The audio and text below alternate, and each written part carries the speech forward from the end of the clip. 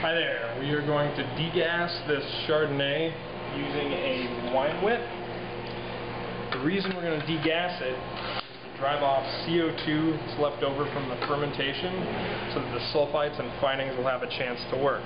I've had this soaking in uh, Star San sanitizer and I'm going to put the airlock and bung in the sanitizer. My hands have been in the sanitizer too.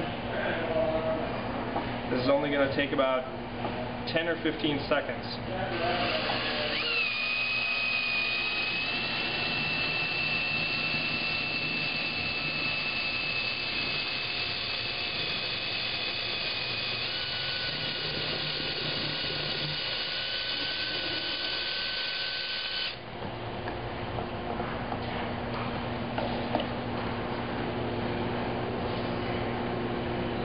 Don't spray yourself with wine when you take it out. Put the airlock back on.